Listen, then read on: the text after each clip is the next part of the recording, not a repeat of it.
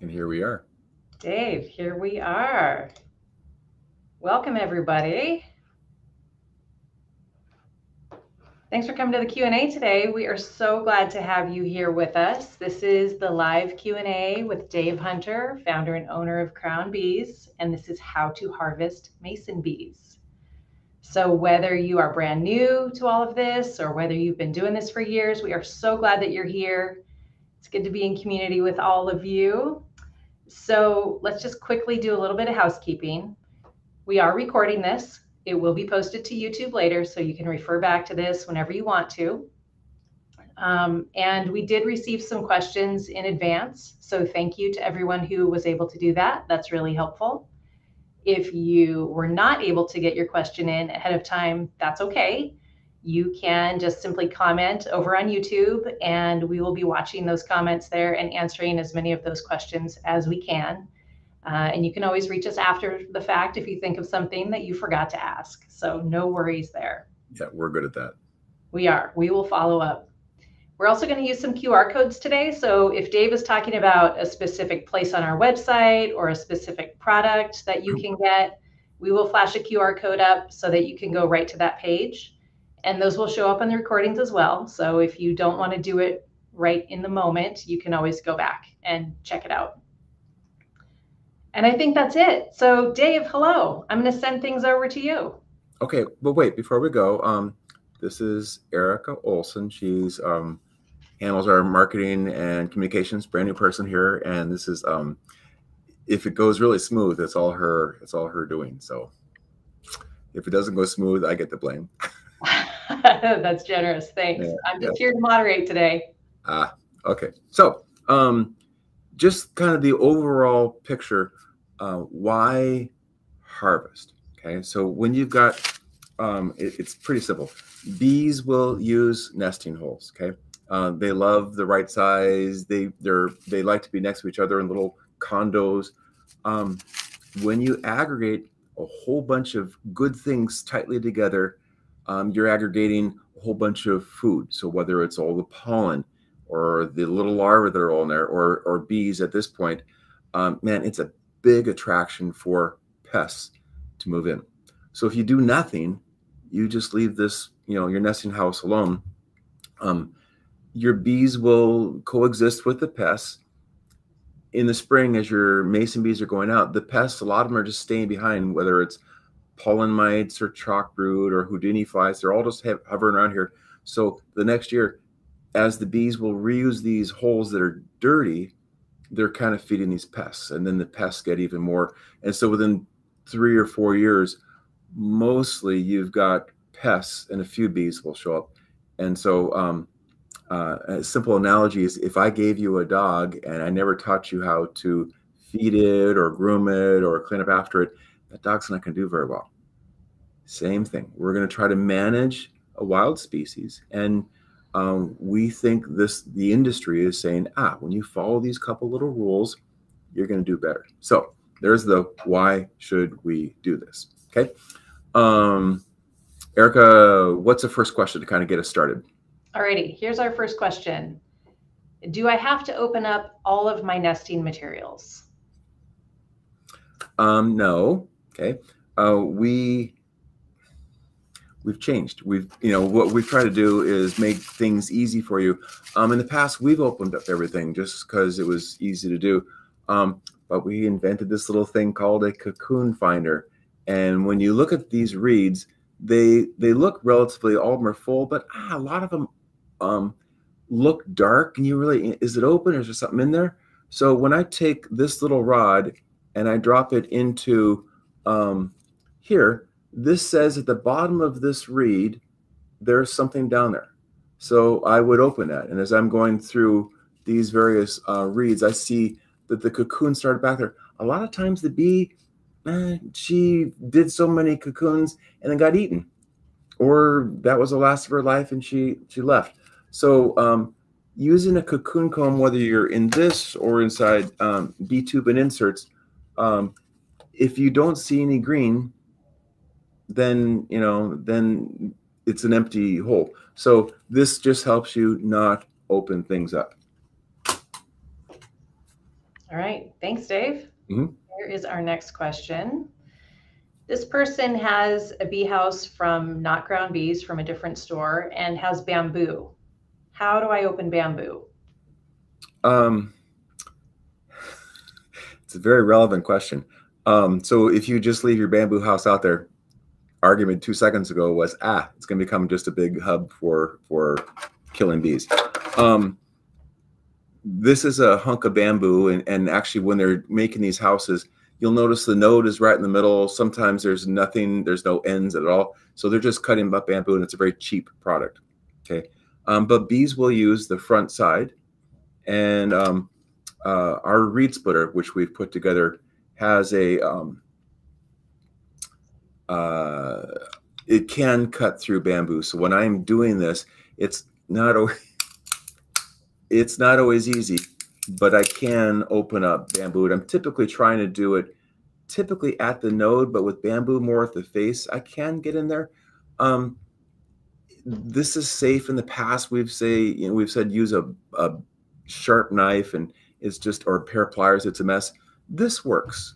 Um, if you don't want to go through this trouble, uh, we have a. I don't think we've got this prepped up for it, but um, in the spring, you can put your entire house with all the bamboo and everything, all the bees into it, into one of our bee guard bags, and close it. We call this moving, you know, moving day. Whereas the bees will emerge, they're going to come into a, a bag that you're just opening up once a day, and the bees will climb out, and you're just able to let them out, but they won't go back in and re-nest into this thing. So um, crack them open, or uh, transition from there with this moving concept.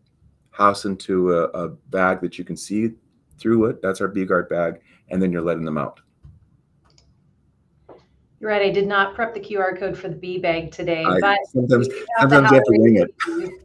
And that can uh, take you just about anywhere. I also want to go back and show people the link for the Cocoon Finder Ah. because I was following along with what you were saying so raptly that I forgot to put that QR code up. So there it is, folks. Cocoon Finder. There is that QR code. Sorry about missing that cue. Ready for the next question, Dave? Yes, ma'am. All righty.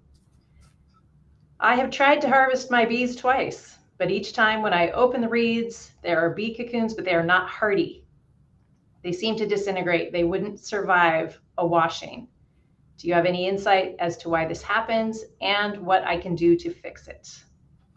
Um, I, I am correcting a company path. Years ago, everything was just the spring mason bee that used mud, and then we brought in the leafcutter bee, and it uses leaves.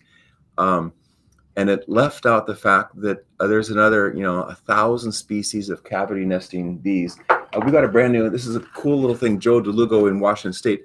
There's all these little different species of bees that just show up here around us, and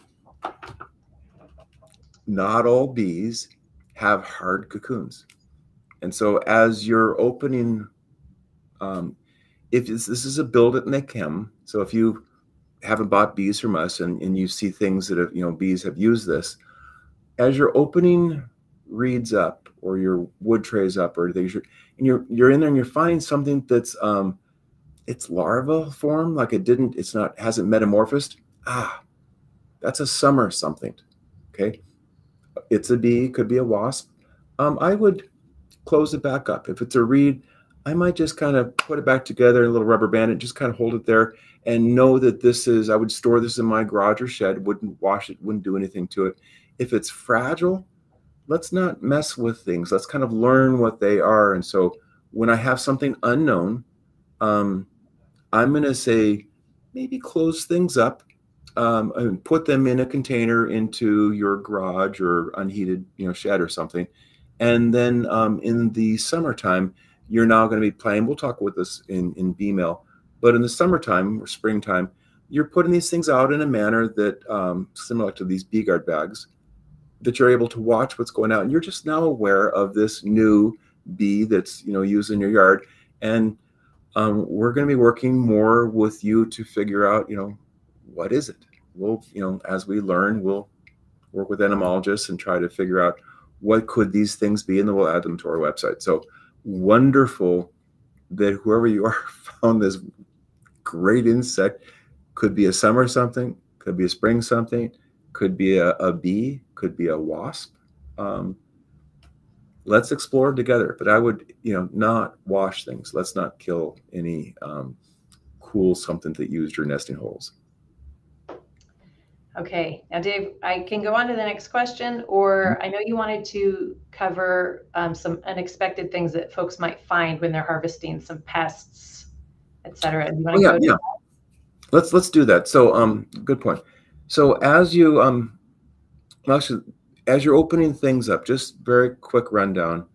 Um, the reed splitter, um, I'm taking just a reed and putting the node in. There's node versus the opening. Putting the node in down there, and I'm just coming down enough that it cracks, and then I'm twisting this thing, and the reed comes apart to get inside. In this one, I have two cocoons. Okay, um, so reed splitter is a wonderful little tool. Uh, if I have um, B-tube and inserts, um, if you don't have a lot of inserts, maybe you can tear these things open quite easily. Take a pair of scissors, and I'm going to just snip the end just a little bit. And if I want to just hand roll, um, unwind this, I'm able to do so fairly regularly. You know, it, it does, it's a little bit. Or tool tip here or a pro tip, drop all, pull all the inserts out, drop everything into just um, warm water, um, not hot, not medium, but warm water. Leave them in there for 10 minutes. The heat isn't going to harm your bees any, but about 10 or 15 minutes, the glue dissolves on in your insert, and you're now just pulling out strips of paper. And you can have the bees in there for an hour. I mean, it's not going to hurt it. So if the if the glue hasn't fallen apart after 10 minutes, wait 15 minutes. But boy, you're just pulling out strips of paper. The cocoons are floating, and it's really easy to get to. Um, if you please don't do this. Okay, if you only use the B tube without the insert, um, parasitic wasps get through this real easy. Like we we frown on just using this. Um, but if you drop this in, and about 20 minutes later, the glue dissolves. So this is, um, you know, you could do it that way. And then with wood trays, um, you've opened these things up. Uh, we've got a nice little device called the cocoon comb that you're simply um, scraping cocoons out as you're going. So it's a very simple device. Um, both leafcutter trays and mason bee trays are, are both um, in here doing this. So it's, you know, we're trying to think through what we can do for you.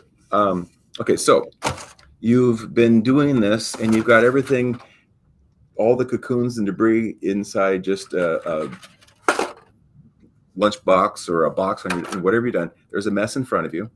Okay what could be in that mess. Um, there's going to be a lot of um, cocoons. Okay, cocoons are easy to find. Um, you're going to find mud debris around. Um, if you could show a couple of what's the first picture look like? These are all pests. Um, you're going to find around the cocoons black little specks. So before that, we don't have it at all, Erica. Um, um, bounce up a slide if you can wonder what's on there. Uh, yeah. See, um, on the end of that cocoon, I can't use my mouse, but um, there's gonna be little black. You can see little black lines in there. That's um, mason bee poop. Yeah, I mean that's fine. Um, you'll find that's the cocoon. To the left of that is the pollen mite. Um, but you're going to find cocoons, mud, and then one of these first pests is uh, pollen mites. And a mite's job they just eat pollen. So when the when the mason bee has gathered their pollen from their nesting um, from the flower, pollen mites are just piggybacking in, and as the bee lays off that pollen, they're scraping the pollen mite right into a pile of food. What's better than that? Okay, and that pollen mite just consumes all of the pollen in front of our mason bee, and it's just stuck between two little chambers of mud. And that's what that orange stuff is. Actually, the orange stuff is their feces. There, if you take a microscope, it's a cool little pink something that um, with little legs that that go out like this. Um, and okay, back up one slide, Erica. Okay, chalk brood. This is um, this used to be. It's a big deal. Um, this is a spore that uh, similar to a mushroom. It's when you when you find this and you touch it, the out, outer skin is friable. So the inside is an old cadaver that was a larva that died, and then this mushroom type stuff expanded past that larva. So it's real friable. When this sits there in the path, this um, chalk brood, a mason bee is going to go past it. It's going to get on her fur. She's going to carry it down the end of her tube. It's going to get under the flowers, under the front of her mason bee house. And so this then spreads and spreads. So years ago, before we could get um, our handle with this, we would have this between maybe 5% of our bees that would just spread everywhere. It's on our equipment. It was ugly. Um, treat this with care. If you find this, um, the best source to kill this is our, um, uh, you could use bleach. We kind of frown on putting caustic stuff next to cocoons. Our Clean Bee product um, does kill chalk brood. And so when you're putting, when you find this in um, wood trays, laminates, you're actually taking the um, cadaver out, that chalk brood spore out, and then just spraying this judiciously in that little hole because it's just we're concentrating there. I would just be careful if you've got this in all of your um, cocoons. The tail end, yeah, I'd be washing things and I'd be I'd be clean bee spraying on this. It's a if you find chalk brood, it's a big deal. Okay, and the best way to get rid of this is to harvest. Okay, that's the front end. There's nothing you can do about it but harvest.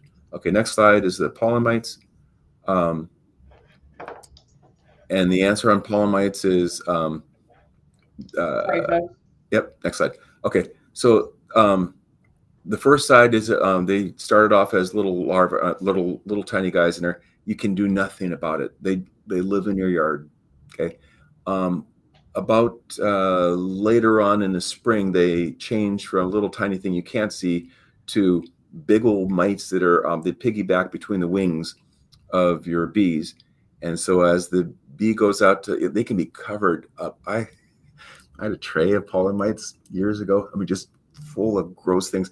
And I dropped a couple bees into it and they're just, they're on their antennas. It was just mean. It was a mean science experiment. Okay. Um, share that story, Dave. Oh my gosh. I know it's horrible. Okay. But, um, but the bees were able to groom most of it off. They couldn't get between their backs. And about four or five days later, um, all of the pollen mites are just falling off into the pollen masses out in my yard. All of the pollen and all the bees were just clean, so it's not going to kill them. It's just this is the piggybacking, and and this is how they this is how the pollen mite is teaming with the mason bee to live. Okay. Nothing you can do. Next one. Um, parasitic wasp. There is something you can do here. Um, wait, on the pollen mite, the best solution for that is to harvest, providing clean nesting holes. On the um, parasitic wasp, this wasp, um, that top picture, she's got a long ovipositor. She can put through um, pretty easily through paper tubes. And she, what she does is um, the mason bee's already done her work inside there. Um, she, the, the parasitic wasp taps with her um, antennas and walks all the way down there and finds out ah, she feels where the larva is sonically, whatever, puts her ovipositor and she lays a whole bunch of eggs next to the larva. Okay. And those little eggs, they um they they hatch, they become little larvae. They typically wait till the mason bee has finished its cocoon and then just they've already injected, they're in it, and then so they've eaten the whole mason bee and they're in a cocoon. Wow. Okay. And they sometimes will chew right out. Um, I've got uh, I didn't prep this, but um, sometimes you'll see on paper tubes that are unprotected um, this little tiny hole right there. Okay, you can see the parasitic wasps. That was their exit hole on that piece. Um, you'll know they're there. And then um, the only other solution to if you've got this, um, you can put your um, when you get your cocoons wet. So now they haven't exited and this mono, this little wasp, is inside this, you know, Trojan horse. You can get your cocoons wet, and if you put them on a real bright light, like an LED light, um, you can see through. And if you see a whole bunch of little um, things as you're looking through the cocoon versus one thing. One thing would be a bee. A whole bunch of little things would be the wasp. Okay, or easiest um, if in May um, some of your cocoons haven't opened up, that's more than likely has it's probably a pest something. And in May, um, we'll teach you in in BeeMail what to do, but you can you can dispose of those cocoons or you can open up a pair of scissors and find these little gross things in there. Okay. But the best way to handle this is we see them show up. If you only used an insert, not a good idea. If you only used a B tube, not a good idea. Um, B tube and inserts is thick enough, and we think it, it messes up the vibrations. And then um, reeds are you never I never find them in a reed and then uh, wood trays uh, that are tightly bound is another good path. The plastic trays out there people sell, um, mono just runs through them. So um, it's a pest that you handle mostly through harvesting. Okay, and the last one um, is the Houdini fly. Um, it overwinters as sticky, gross larva. And that lower picture there is what you'll find. And their frass, their poop is is sticky and, and brown. It's a, it's a mess. And okay, it's a mess. Um, the only way to tackle this right now is to remove these things, squish them, put them down the garbage disposal, do something. You know, we don't want these things surviving. Um, they in their adult form this is in uh, early april around the washington area it looks like a fly just like that with these big red eyes real slow you can smush them um, but the source of the vector of this is your neighbor's yard that they don't care so whoever has the mason bee house that they're not caring about that's where these bees are are the flies are uh, coming from and they're all in the Seattle, way covering Portland, Oregon, um, uh, now BC, so Vancouver, the whole mess in BC. Everyone's getting this fly, and people have been shipping uh, unopened tubes out to the East Coast. We know they're out in New York, New Jersey, Connecticut, and Pennsylvania. So it's just spreading everywhere. Um, and okay, lastly, um, we're teaming with the USDA. We have we've got funding, so this coming spring, we're working with the USDA to hopefully come up with either an attractant, go into a sticky trap, or a detractant. Um, don't bug my bees, but go get the neighbors. Um, so those.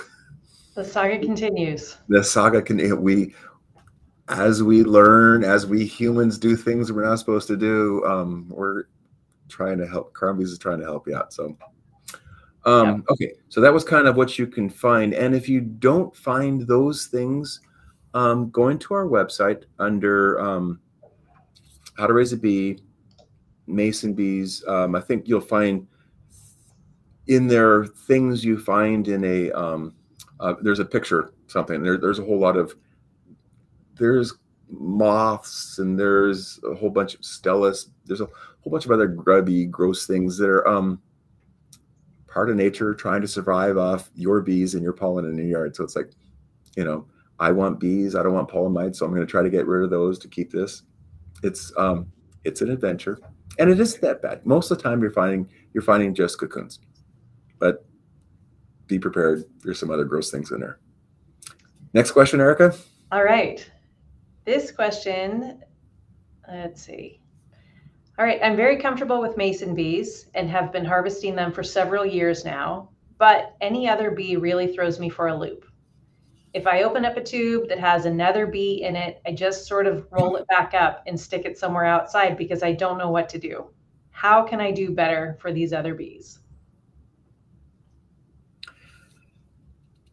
As Crown Bees continues to learn, I don't think that's um, a bad practice to do um, when I find, um, we were talking about earlier, when I find something I don't recognize, around here we have um, bees that use tree resin, pollen, you know, pollen nectar, laid an egg, and there's tree resin. God, when I try to open things up, it's just a mess, and and there's we don't really find any pests in there. I would just leave the full tree resin tube alone. Um, when they use wood trays, yeah, they're glued together. Um, I think that's a good practice. Uh, I still would take them out of the environment. So where birds in the wintertime are hungry, would be pecking at the um, ends. I would put your house, your things that you're unsure of, into a container. I put them into a bee guard bag to maybe keep the little pests out, and just keep it kind of mouse proof. Um, there's a lot of good things to eat in there, and, and rodents will chew through the sides of reeds and stuff to get to the thing. So just in a protected something in an unheated garage or shed. So it's, it's a great question. And as we learn, we're going to be learning along with you. Okay, super. We have one more question here. This person asks, this is the first time that leafcutter bees have used my mason bee house. How do I handle these when I'm harvesting my cocoons? Um, so we've also learned the, the leafcutter bees that we sell are a summer insect. And so we would be harvesting um, those in the spring and we'd handle, you know, how to work with them and incubate them, etc. If you're finding leafcutter bees that are um, in the spring, they're out here in Washington State, they're across the country. Um, I certainly wouldn't wash them. If I find leafcutter bees, I would um, pull them apart and put them in, you know, I, I wouldn't mind harvesting them, but I would keep them in a separate container. And in the spring, uh, this is where they're going to, if it's a spring something, they're going to come out and you'll let them out. Um, I would keep, protect them, keep them in a, like a bee guard bag. If it's a summer something, then uh, we'll work with you on, oh, nature will work. And the, and the bees typically will take the early summer heat to change from larva to adult bee and then come crawling out in June or July. So uh, don't wash. Um, when you find these, I would uh, expose and protect. Okay. Great segue to the next question, which is about storage over the winter. So this person says, I typically store my cocoons in the fridge in a humidifier case, but they don't seem to thrive in the spring. I've also noticed that sometimes the cocoons appear dehydrated or might get moldy. Would it be better to store them outside or in the garage? Um, when in doubt, nature has it figured out. Okay. So why would you put your bees in a refrigerator? Okay. Um, global warming is is creating a mess. Um, let's to, to, to answer this technically.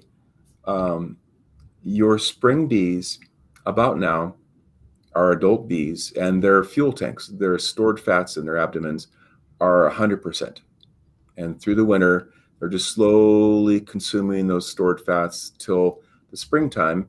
Um, they've burnt off enough of these or consumed enough of these. So when their fuel tanks are maybe 10, 15%, and it's warm outside, that times them to head out. Okay, that's normal. Take global warming. Now, global warming has things hotter, so your falls are hotter, um, the bees are sitting there waiting for a nice fall weather and it's super warm, they're consuming fats really fast. Their metabolism, their metabolism is high. Their consumption of fats are high. So they're going to be starting to push through their fats quickly. In the springtime, we find a lot of times nowadays that you're getting really warm moments. And with these warm moments, the bees are saying, well, gosh, I'm at, you know, 15 or 20%. Let's head out and they're coming out to snow, no flowers or anything, and then they're just dying. And so, what we're very much in my whole industry is recommending is that we, for the bees that we're raising, okay, not every bee that you raised is staying in your little nesting holes. They're out inside your yard. So nature's working with those ones out there. The ones that you're trying to raise, uh, we would keep them in a refrigerator cold. Their metabolism is low their consumption of fats are slow. Okay, so we're then saying keep them in a fridge or, or a cold garage. The mason bee, man, they live up in, in Saskatchewan. You know, it's it's minus 10 Fahrenheit. You know, they're hardy little insects. They're an insect. It's not you and I. So you could keep them outside. Um, in a humidity, um, when you store your bees in a modern frost-free refrigerator, they're out there dehydrating things. That's why we have crisper drawers. And this um, container, simple little something, little tablespoon of water in there. You've got your cocoons in there. This is keeping things tight. Um, there's a little airflow. We've got little holes on the top. Um, uh, true fact, in your fridge, you know, my wife and I, we try to clean our refrigerator out, but mold comes from something, it's floating in the air and lands on surfaces and it'll get through these little holes and wind up on a cocoon and man, it becomes moldy. Okay, the answer is real simple. Um, if this happens, you're just taking your cocoons out, you're cleaning them off in, in cold water. I would use um, I would use Clean Bee. Uh, it kills mold spores. I would just spray them on that. Uh, make sure you wash all the pads and everything. Um, once I've closed this back up, I would now, since I know there's mold in my refrigerator, I'd put this in just a um, lunch sack and seal it. And so you've still got the humidity going on inside here, and um, you're keeping the mold spore from coming through the sack into this. Um, really low cost. These are um, humidity, um, temperature, humidity little checks. We have them. I mean, it's really low cost. I would just place that in there, and if you're keeping your humidity above 30%, you're fine. Okay, is just a good visual check. Okay, great. Um, we are going to need to start to wrap up. Mm-hmm. Um, I want to remind everyone that this video is going to be posted to the YouTube channel as a recording, so it's available on demand whenever you want to go back and revisit any of this information. Um, I'm going to share the QR code for the quick reference, Harvesting Mason Bees, so folks can go back there and look at all the information we have on our website. Um, and Dave, do you have any closing words before we close out here? Um, no, this is um, for us. This is the the start of the season. It's like, mm. and when you hold cocoons in your hands, just oh, it's just the smell of of healthy mason bees. I so, um, I like this industry, and so I I look forward to harvesting. And if you guys have any um, extra cocoons, share them with friends. I would do that first. Share them with you know friends and family, just to kind of spread the word what's going out. Um, help them learn where to learn information so crown bees can be a source of, of that and then if you have still too many um, we have a bee buyback program where uh, we'll give you cash for cocoons or store credit so you can buy new things uh, we're here to team with you and we have bees from new york and the dakotas and and you know northwest that come into us we hold them separately and as in the spring times people are ordering bees from us we push those same bees back to the Dakotas or to Pennsylvania. So we're very careful. Um, bee buyback is um, uh, where we get a lot of our cocoons. So help us. Uh, we'd love to have that. And um, Erica, thank you. This no flaws. Um, thank you, Dave. This appreciate running through this. I know everyone's going to love getting all this info and whatever they can't find here, just to remind everyone, you can always find us. You can find info on the website and you can always shoot us your questions.